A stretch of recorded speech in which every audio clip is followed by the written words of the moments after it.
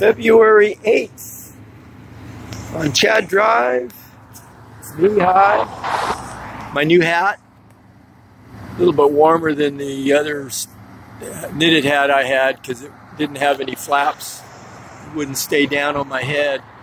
Kept squeezing itself off. We got two kites up. We got added another one to Nemo there. Fishing for a Smile, day 1484.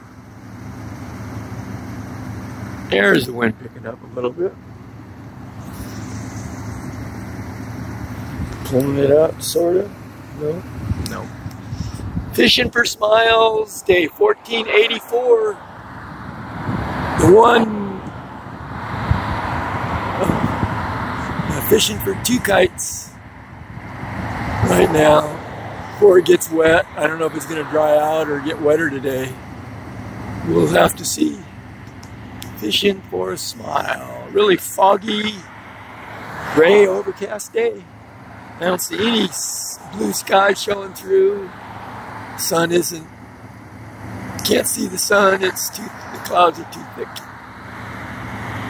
One more day fishing for a smile.